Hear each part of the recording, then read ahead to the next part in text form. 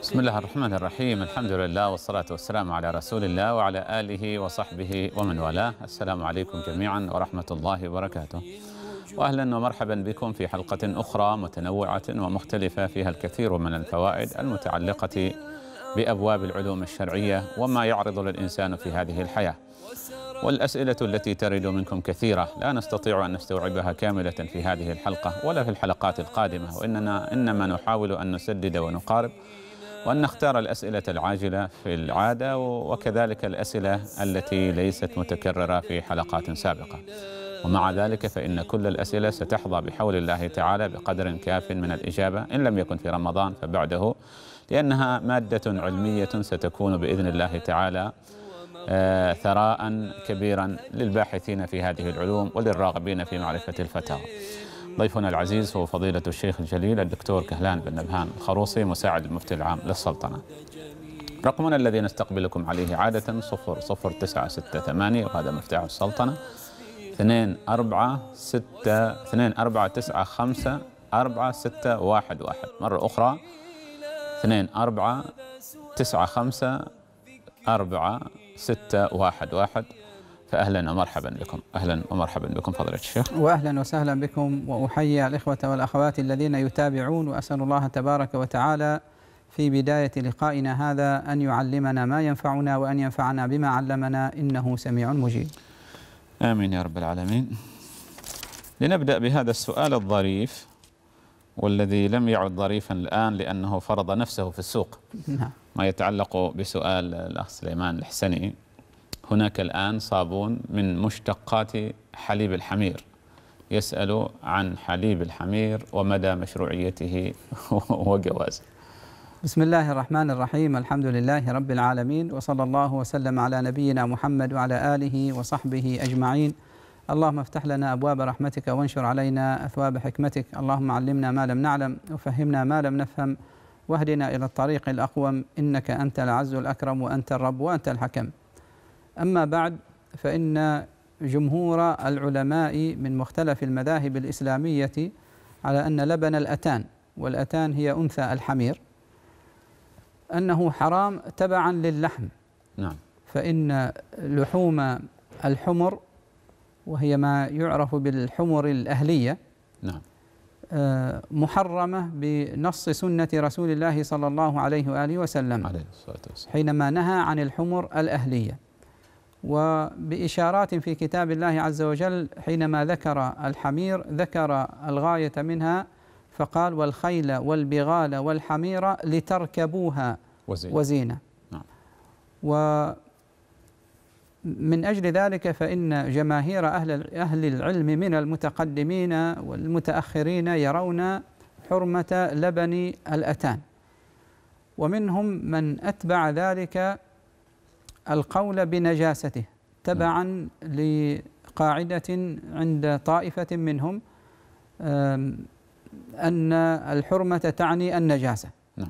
ومنهم من وقف دون أن يقول بالنجاسة ولكنه يرى الحرمة. وهذا هو القول الأقرب إلى الصواب. نعم. وبالرغم من ذلك فقد وجدت أقوال لبعض التابعين وسار عليها بعض العلماء آه، يرون فيها حل لبن الأتان. نعم. فينسب إلى الإمام جابر بن زيد نعم.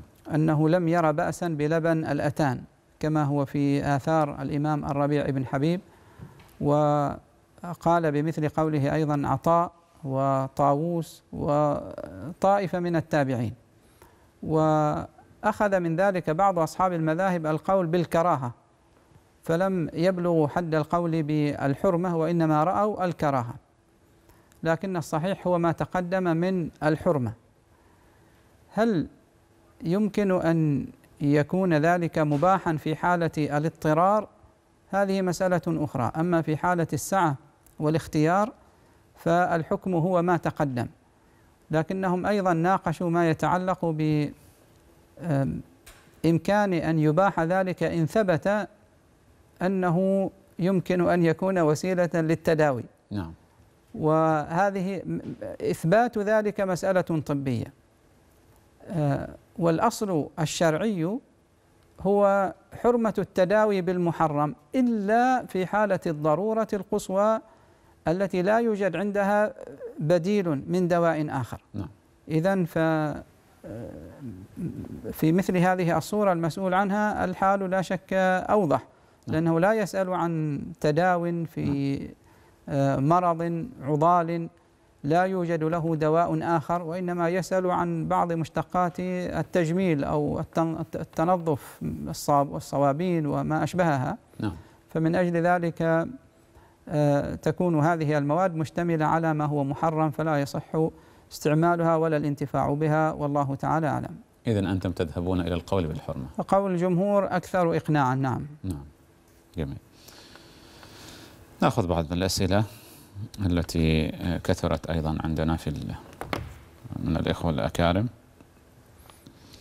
يقول آه، وإن كان هذا تكرر كثيرا ولكن حاجة الناس إلى معرفته خاصة في شهر رمضان كثيرة ما يتعلق بالزكاة.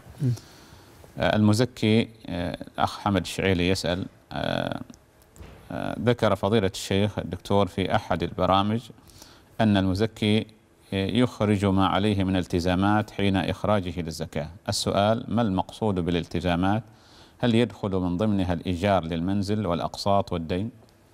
نعم يقصد بالالتزامات أي المغارم الحالة التي يجب عليه الوفاء بها فإنه في هذه الحالة يطرحها ثم بعد ذلك ينظر في الباقي وهو الذي يزكيه نعم. فإن كان مطالبا بأداء هذه النفقات والوفاء بهذه الالتزامات المالية في ذمته الواجبة عليه في ذمته فإنه يؤديها ثم آه، يخرج الزكاة. نعم. أما الحقوق المالية التي عليه لكنه موسع له فيها مؤجلة ومنسأة و أو لم يحن وقت أدائها بعد ولا يعتزم هو أن يتخلص منها بالأداء لأنه إن نوى ذلك فعليه أن يبادر وأداء الدين أولى. لكن إن كان منسأ له في أدائها فلا مطالبة عليه بأن يؤدي الذي عليه فإنه في هذه الحالة يحسب كل ما لديه من أموال ويزكيها والله تعالى أعلم. هنا سؤال مشابه سنلخصه. زكاة ماله تصل يقول إلى 1790 ريالا إلى 1090 ريالا. لكنه دخل في مشروع مع شركة يدفع لها كل سنة خمسة آلاف ريال عماني. ففي هذه الحالة هل يخرج زكاته أم يضمها إلى الأقساط الذي يدفعه إلى الشركة؟ يعني الذي يفهم حينما يقول بأن مقدار زكاتها أن هذا المقدار المخرج. نعم. هذا يعني المقدار ال- الواجب عليه أن يخرجها أو هذا المقدار الذي العام. سيزكيه. نعم. لا في نهاية العام هذا المقدار الذي سيخرجه المقدار. الواجب عليه إخراجه. ولكن في نفس الوقت يدفع أيضا قسطا سنويا خمسة آلاف ريال. يصادف أن عليه أن يؤدي هذا نعم. القسط قبل آه، أو إبان إخراج موعد حولان الحول نعم. طيب سيخرج مقدار هذا القسط من رأس المال المزكى. نعم. وبعد ذلك ينظر في ال- الباقي هو الذي يزكيه. نعم. إن كان القسط سيؤديه في نفس الوقت يغتفر في اليوم واليومين كما يقول الفقهاء بل فيما هو أكثر من ذلك. نعم. آه، طالما أنه يصادف نفس وقت إخراجه لزكاته وأن عليه أن يؤدي هذا الحق فهو مطالب به فليطرحه من جملة المال المزكى ثم بعد ذلك يخرج ربع العشر من الباقي والله تعالى أعلم. هنا سؤال سنعيد صياغته حتى لا يكون دعوة لأنكم في في كثير من الأحيان تتجنبون الإفتاء فيما يتوهم أنه دعوة. نعم. هذا السؤال إذا كان وكيل المسجد أبرم عقدا لكنه شفهي شفهي مع مستأجر لمحل تجاري. بمبلغ 400 ريال مثلا. لكن جاءه شخص آخر قدم مبلغا أكثر. نعم. فهنا أمام هذا المبلغ الزائد وأمام الذمة التي أو الوعد الذي أعطاه لذلك الرجل. أيهما يقدم؟ ينظر فيما يحقق مصلحة أعظم للوقف. نعم. فمال الوقف كمال اليتيم. والله عز وجل يقول عن أموال اليتامى يسألونك عن اليتامى قل إصلاح لهم خير. بل إن أهل العلم يرون أن أموال الأوقاف أشد من أموال اليتامى. وذلك لأن اليتيم قد يكون له قريب أو ولي يسعى في حقه ويدافع عنه ويحصل له على حقوقه. أما الوقف فقد لا يوجد له أحد يحتسب ليحفظ له حقوقه وليصون له أصوله وليعظم له منافعه. نعم. فعلى وكيل الوقف الناظر أن ينظر في ما هو أصلح للوقف. قد يكون الصلاح في عظم العوائد. نعم. لكنه إن كان قد جرب مع آه، بعض المستأجرين ووجد أنهم يماطلون وأنهم يمكن أن يحدثوا في الأصل من الخلل والفساد ما يستهلك قدرا كبيرا من العوائد. فآثر أن يؤجر بسعر أقل لغيرهم من المستأجرين لكنهم يتسمون بالوفاء وحفظ الأصل وصيانته والالتزام بالأداء فهذه مصلحة معتبرة شرعا.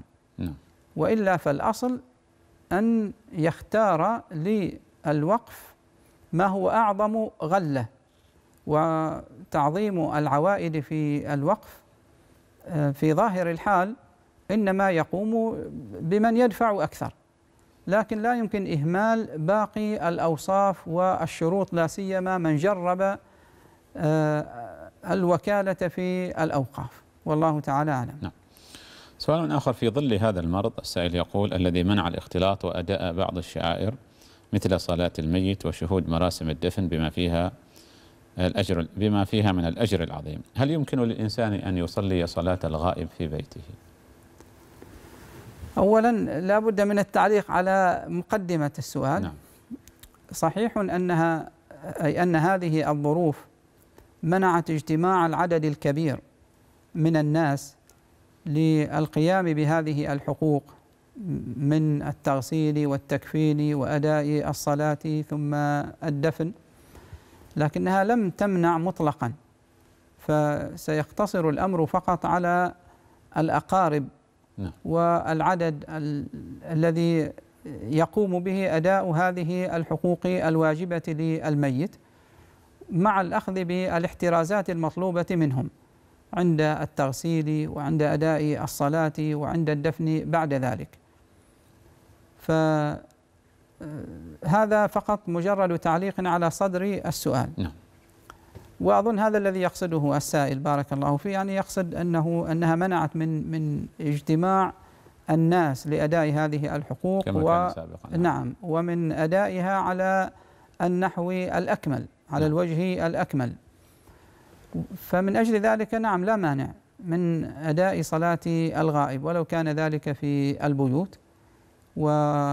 وهذا في مختلف الأحوال حتى في غير هذه الظروف القاهرة الآن فإن الصحيح أن أداء صلاة الغائب على ميت من موتى المسلمين من الصلحاء الأتقياء الذين يشهد لهم بحسن السيرة آه، أن ذلك مشروع فهو من الدعاء للميت ومن القيام ببعض حقوقه فلا مانع من ذلك أبدا والله تعالى أعلم. لدينا سؤال هنا لا أدري إذا كان سيحتاج وقتا كبيرا ولكنه ضروري. بعده نخرج بفاصل إن شاء الله تعالى نبدأ في استقبال أو قبلها نستقبل المكالمات. الأخ محمد البرياني من الجزائر يقول آه، قال الله تعالى وقال رجل مؤمن من آل فرعون يكتم إيمانه أتقتلون رجلا أن يقول ربي الله؟ وقد جاءكم بالبينات من ربكم. وإن يك كاذبا فعليه كذبه. وإن يك صادقا يصبكم بعض الذي يعدكم. إن الله لا يهدي من هو مسرف كذاب. تبادر إلى ذهني وهو يسمع الإمام يقرأ هذه الآية يقول تساؤل عن بناء العقيدة على الاحتياط لا على القطع. نرجو من شيخنا الإفادة في هذا الموضوع. ربما أشار إلى قوله إن يك كاذبا وإن يك صادقا. لا هذا ليس بناء للعقيدة على سبيل على غير سبيل القطع واليقين. وإنما هذا كان من آه، مؤمن آل فرعون دفاعا عن موسى عليه السلام بإقامة الحجة على من أراد العدوان عليه بقتله من فرعون وملئه بأن وجود موسى فيهم لا يضرهم شيئا فيقنعهم بالمحاجة وبما يمكن لهم أن يلتفتوا إليه من البراهين أنه لا مضرة من إبقاء موسى عليه السلام حيا. فهو إن كان كاذبا فكذبه سيعود عليه بالضر نعم. وبافتضاح أمره وانكشاف كذبه عند الناس فستسقط حينئذ سيرته وستسقط دعوته. وإن كان صادقا يقول لهم فإنه إن كان صادقا فإن موقفكم منه هو الذي سيحدد النتيجة. فلماذا تقتلونه؟ اذا لم يبني عقيدته هو في من هذا الموقف. ومؤمن آل فرعون آه، نجد ذكره في كتاب الله عز وجل بثناء عاطر. وسيرة هي أشبه ما تكون هي أشبه ما تكون بسير آه، من اصطفاهم الله عز وجل من آه، الأئمة والشهداء في تاريخ المؤمنين. نعم. فلا يمكن أن يقال بأنه بنى عقيدة بناء على هذا. هو كان يحاج كان في محاجة لفرعون وملئه يقيم عليهم الحجة.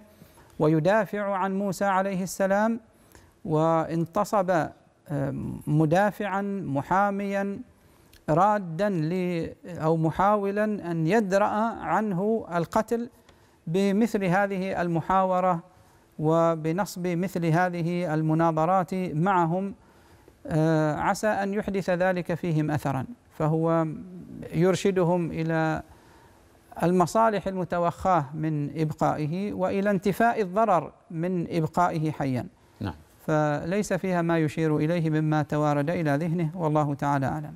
وكأنه يطالب له بمساحة من الحرية في ممارسة عباده والدعوة إلى ما نعم. أو شيء. هو أي. يريد أن يستبقي حياته نعم. فضلا عن المساحة الآن يريد أن يستبقي حياته. نعم. ومع ذلك حتى في في من أجل أم، دفع هذا الظلم والبغي عنه. نعم. فإنه كان يحاورهم محاورة العقل والمنطق وبيان ما يمكن أن يتحقق لهم من مصلحة حينما يكفون عن أذيته وقتله. جميل.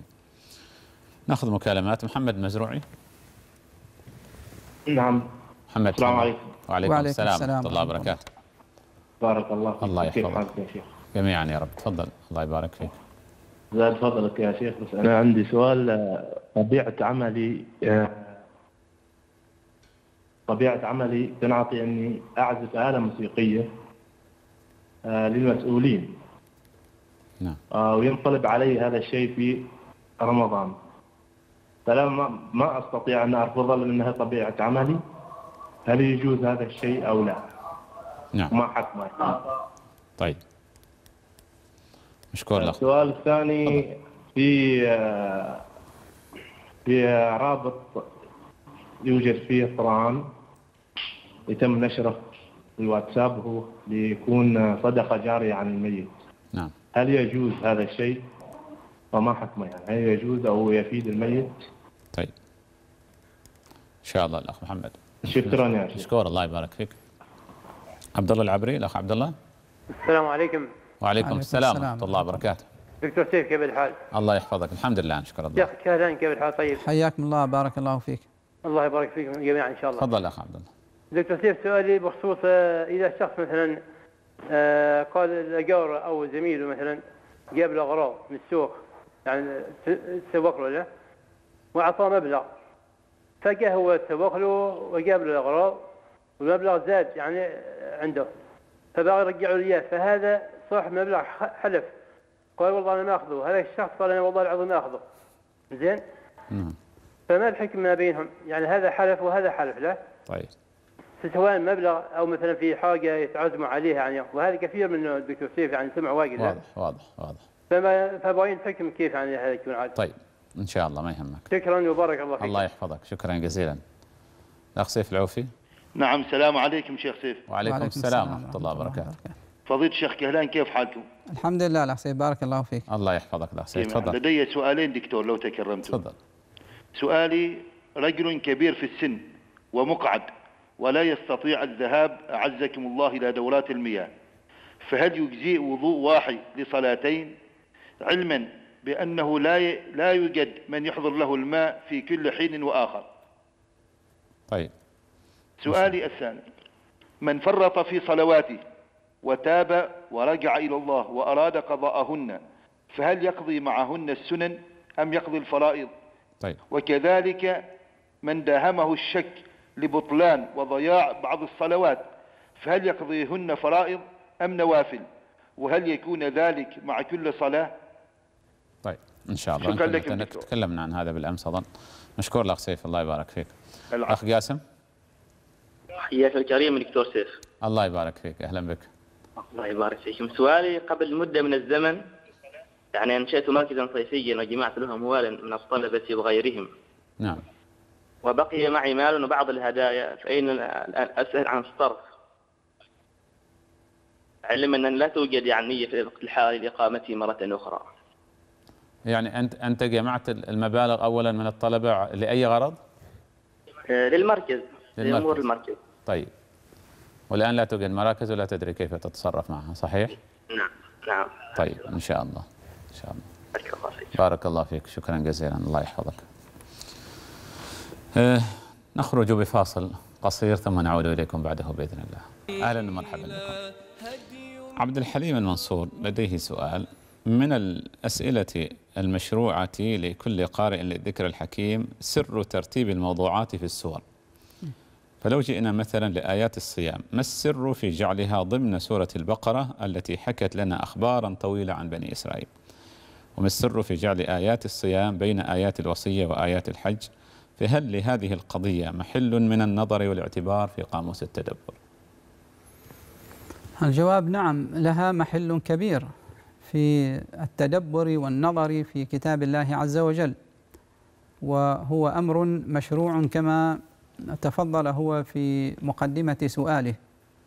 فإن النظر إلى الموضوعات في السورة الواحدة والروابط بين هذه الموضوعات وما يتصل بما يعرف ب أم، انتظام سور القرآن الكريم.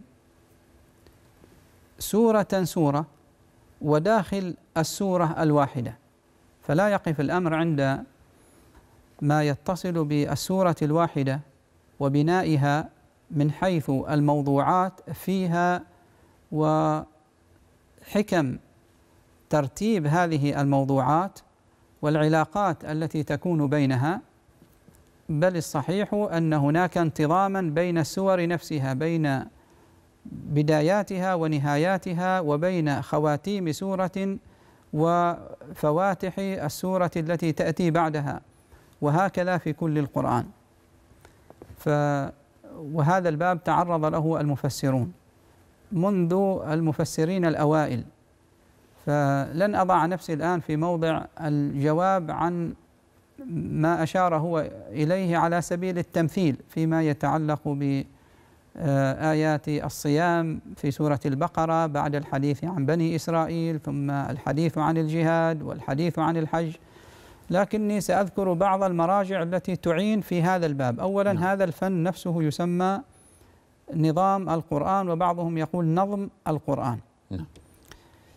يوجد عند كثير من المفسرين من المتقدمين والمتأخرين في تفاسيرهم في بطون تفاسيرهم يتعرضون له منذ الإمام الطبري والإمام القرطبي وعند أبي حاتم. هذه التفاسير الموس وعند الإمام الرازي هذه التفاسير الموز- الم- الموسعة. آه، فيها قدر كبير مما يشفي الغليل. قد لا يكون الوصول إليه سهلا لكنه موجود. من المفسرين الكبار المتأخرين الذين أيضا عمدوا إلى الالتفات إلى هذه المعاني والروابط بين الموضوعات في السورة الواحدة وفي بين السور بين سور القرآن الكريم آه، صاحب التحرير والتنوير العلامة الطاهر ابن عاشور. وكان يعني نظره أدق وأعمق وأيضا يسهل التعرف على هذه المواضع في تفسيره. كذلك يعني تفسير المنار للعلامة السيد رشيد رضا إلا أنه لم يكتمل. وقف في سورة يوسف عند قول الله تبارك وتعالى قال ما خطبكن إذ راوتن يوسف عن نفسه. عن نفسه. آه، حاول الإمام المراغي أن يسلك هذا المسلك مسلك الإمامين السيد رشيد رضا والطاهر ابن عاشور في آه، التفسير بطريقة معاصرة واعتنى أيضا بهذا الجانب. آه، لكن هو ذكر سورة الب... نعم من من المفسرين الكبار الذين اعتنوا عناية خاصة. الآن ما تقدم كان يتعلق بوجود هذه النظرات في بطون كتب التفسير وتعرض المفسرين لنظم القرآن. آه، لكن هناك من ألف فيه استقلالا. أشهر هؤلاء العلامة البقاعي الإمام برهان الدين البقاعي له كتابان. تفسير موسع يسمى آه، نظم الدرر. نعم. نظم الدرر. ونظم الدرر يعني تفسير موسع و يعني هذا التفسير خاص بالعناية بموضوعات السورة الواحدة والترابط الذي يكون بين السور المتقدمة والمتأخرة بل إنه يعني يقارن في الصورة في السورة الواحدة بين آه، مطلعها وخواتيمها وأتى بلفتات رائعة جميلة. جميل. له كتاب آخر اسمه مصاعد النظر. نعم. يعني اطلعت على بعض أجزائه. أما نظم الدرر فهو عندي واطلعت عليه وأرجع إليه في الحقيقة. نعم. صح هذا أيضا أي أي ذكر لكتاب الآن في هذا السياق لا تعني تزكية كل ما في الكتاب. هناك يعني على سبيل المثال نظم الدرر فيه كثير من الروايات التي تساهل فيها كثيرا فيما نعم. يتعلق بهذا الباب حتى في في أسماء سور القرآن الكريم. نعم. وفيه بعض الجوانب التي لعله بالغ فيها قليلا فيما يتعلق بالتصوف والسلوك لكنه إجمالا جمع فأوعى فيما يتعلق بنظم القرآن الكريم ونظم السور وتناسبها وتناسب موضوعاتها في السورة الواحدة. في هذين الكتابين في نظم الدرر وفي مصاعد النظر. آم، الإمام نعم هو أشار إلى سورة البقرة على سبيل التمثيل. نعم. خير من بين وحدة الموضوعات واتساقها وانتظامها في سورة البقرة هو الشيخ الجليل العلامة الدكتور محمد عبد الله دراز في النبأ العظيم. نعم. بعض المعاصر المعاصرين من الذين يعنون بتفسير القرآن الكريم واللمسات البيانية فيه يقول هذا الكتاب لا أوصيكم بقراءته فقط. نعم. هذا الكتاب أي كتاب النبأ العظيم للشيخ دراز أوصيكم بحفظه. نعم. بحيث يعني تحفظونه عن ظهر قلب. لنفاسته. لنفاسته وتركيزه. نعم. فهو ضرب مثالا. الشيخ دراز في المقدمات الأولى في في الكتاب أولا أثبت إعجاز القرآن ووجوه الإعجاز ورد على الشبهات المت- المتعلقة بالقرآن الكريم لا سيما فيما يتعلق بالإعجاز وكشف وجوه هذه الإعجاز. ثم ضرب مثالا بسورة البقرة. نعم. باختصار محكم يعني أتى بها آه، فقرات إثر فقرات من يعني قطع اختار قطعا من سور سورة البقرة كلها لكنه كان يختار قطعا آه، قطعة قطعة من الآيات. ثم يبين ارتباطها ب يبين موضوعاتها وارتباط هذه الموضوعات بعضها ببعض جميل من علماء الهند الذين المسلمين الذين اعتنوا بهذا الجانب أيضا استقلالا آه، العلامة نظام الدين الفراهي وكتب عدة أجزاء تحت عنوان نظم القرآن ونظام القرآن نعم. وطبعت هذه الكتب جامعة عليكرة.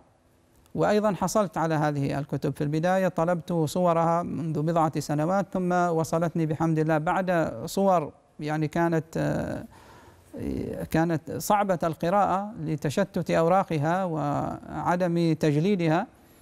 لكنني حصلت على أغلب هذه الأجزاء التي كتبها. ومن مزايا من يكتب آه، من العلماء المسلمين من غير العرب أن هذه الوجوه يعني تظهر لهم أكثر يتذوقونها أكثر. نعم.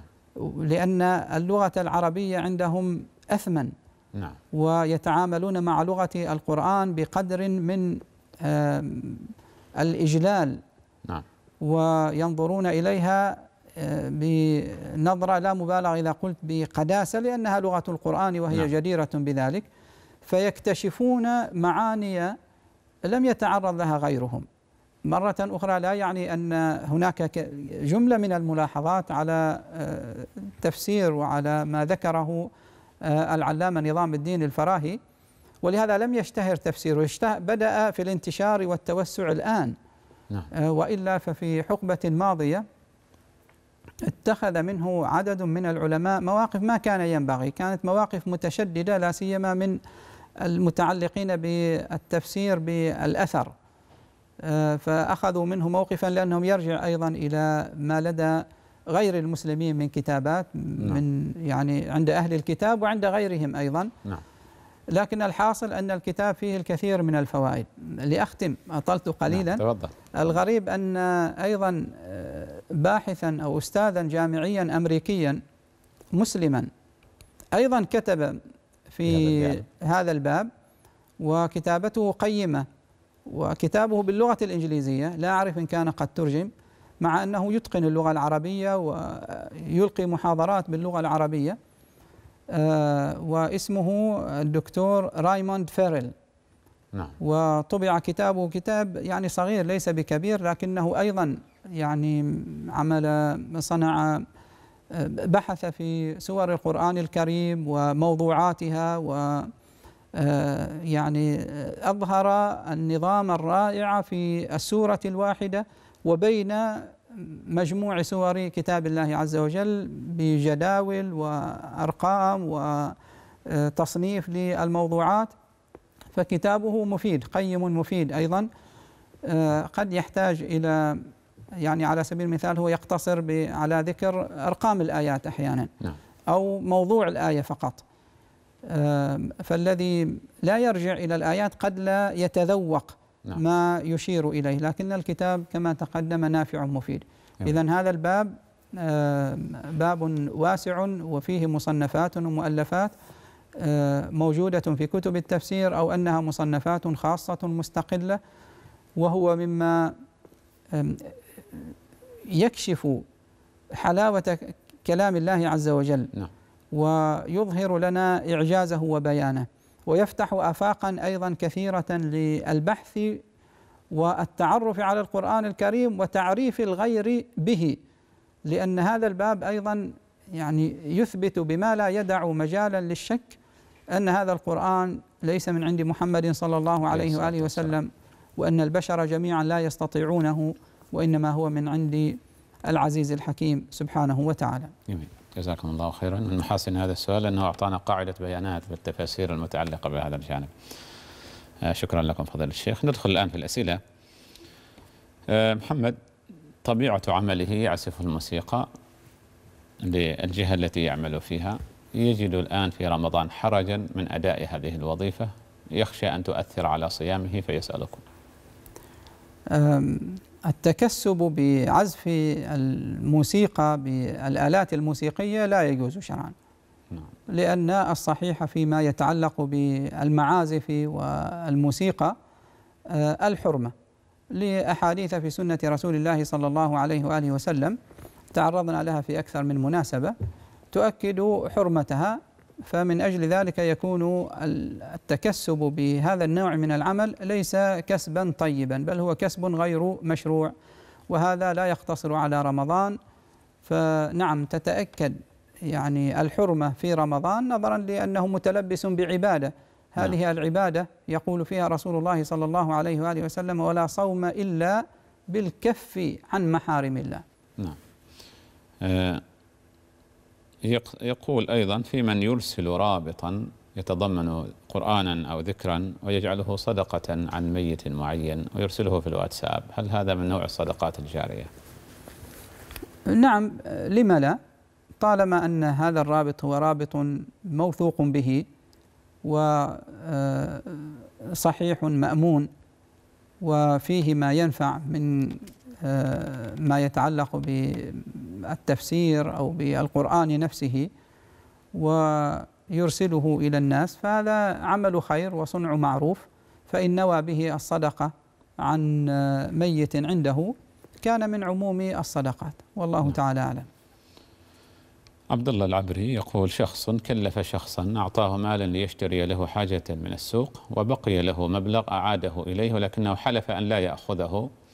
والثاني الذي كلف بالمهمة حلف أن لا يأخذه أيضا. الآن لاثنان حلفا. فما الحكم ولمن سيكون المبلغ؟ أولا يعني هنا تنبيه يتعلق بهذا الإكثار من الحلف. نعم. فربنا تبارك وتعالى يقول ولا تجعلوا الله عرضة لأيمانكم. والرسول صلى الله عليه وسلم يقول عليه الصلاة والسلام. من كان منكم حالفا فليحلف بالله أو ليصمت. ومن أجل ذلك فإن المسلم ينبغي له أن يجتنب الحلف قدر المستطاع. فلا حاجة له إلى آه، أن يقسم آه، يمينا بالله تبارك وتعالى. نعم. ومن باب أولى في مثل هذه الأحوال والمواضع لأنه سيدخل على نفسه وعلى غيره عنة ومشقة وحرجا. الآن ننظر في المسألة نفسها المسألة الواقعة بينهما. إن كان يقصدان الحلف لأن هناك قولا عند الفقهاء بأن قول الرجل لا والله بلا والله هو من يمين اللغو آه، المعفو عنه. نعم. لكن إن كان إن كانا أو كان أحدهما يقصد اليمين فعلا فلم يكن ذلك مجرد كلمة بلسانه ولم يكن يمين لغو الذي قال الله تبارك وتعالى فيه لا يؤاخذكم الله باللغو في أيمانكم وفسر بأنه القول في مثل هذه الأحوال لا والله بلا والله وإنما كان عازما كان لتأكيد موقفه آه، عقد ذلك اليمين. فهذه في هذه الحالة يمين منعقدة.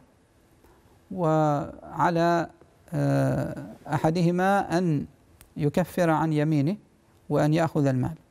فإما أن يأخذه صاحبه الأول صاحب الذي أرسل غيره ويكفر عن يمينه وإما أن يأخذه الآخر الحاصل. إن كان أحدهما فقط يعني أجرى هذه هذه اليمين على لسانه يمين لغو لم ينتبه لها كان معتادا فهذا لا حاجة له إلى أن يكفر ولا حرج عليه فاليمين غير منعقدة. آه، إن كان الحال ملتبسا عليه فالأولى أن يعدها منعقدة وبناء على ذلك فالذي يأخذ المبلغ يكفر عن يمينه والله تعالى أعلم. جميل. ولا يعودا إلى مثل هذا. أخ سيف يسأل عن رجل كبير في السن لا يستطيع أن يصل إلى الماء دائما ولا يوجد من يوفره له فهل له أن يتوضأ وضوءا واحدا لصلاتين؟ نعم له ذلك. وفي الأحوال العادية للصحيح المعافى له أن يصلي بالوضوء الواحد ما شاء من الصلوات ما لم ينتقض هذا الوضوء. فأما إن كان يخشى الذي أفهمه من سؤاله إن كان يخشى أن ينتقض الوضوء وأن يحدث على سبيل المثال آه، أو أن يصيبه شيء من نواقض الوضوء ونظرا لظروفه التي ذكرها من أمراض وعجز وهو مقعد على كرسي وليس له من يعين وليس عنده من يعينه. ففي هذه الحالة يكون الترخيص له في أن يجمع الصلاتين.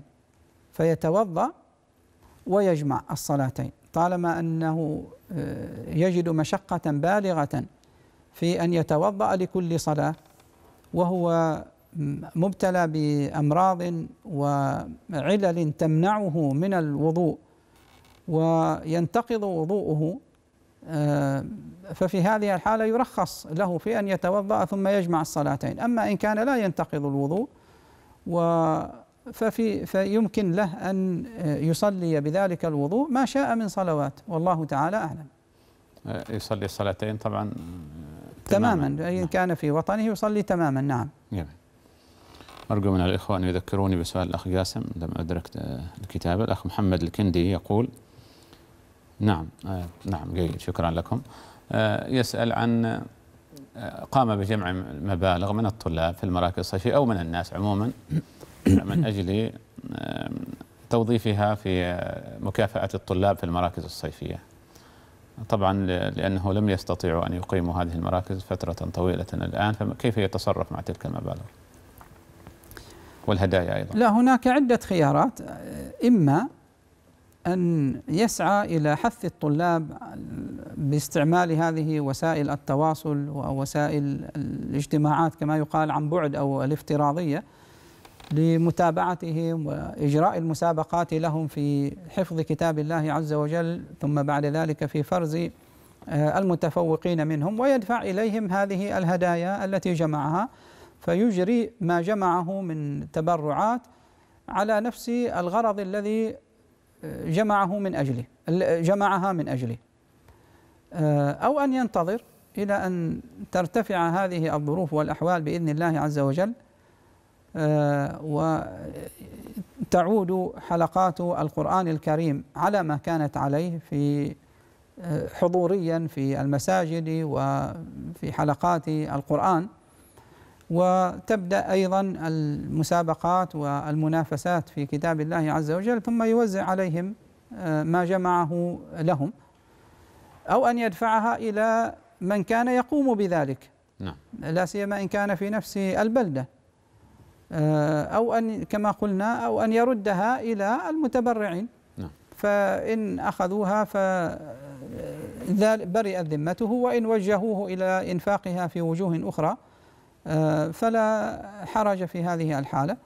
لكن نرى أن إن لم يت- يتأتى له أن يقيم هذه المسابقات أو الأنشطة المتعلقة بالقرآن الكريم عن بعد فليتريث إلى حين عودة الأمور إلى طبيعتها وليدون على نفسه أن هذه الأموال المجموعة هي لهذه الغرض أو يستشهد آه، يعني عدلين على الأقل أن هذه الأموال التي في يده إنما هي لهذا الغرض. والله تعالى أعلم.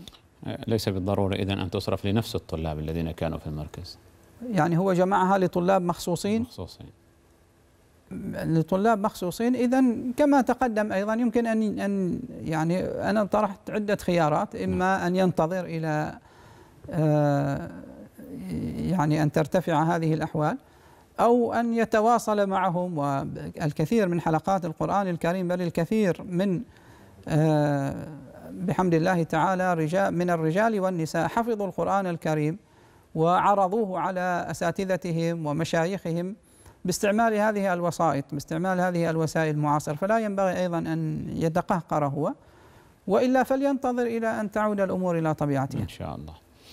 أم عبد الله كررت سؤالها عدة مرات تقول ما هو الحد الجائز لاستخدام الفواصل اللاصقة والقلم في القرآن الكريم خاصة لحفاظ القرآن الكريم والمهتمين بعلومه لتحديد المتشابهات وانفرادات القراء وكتابة بعض الملاحظات البسيطة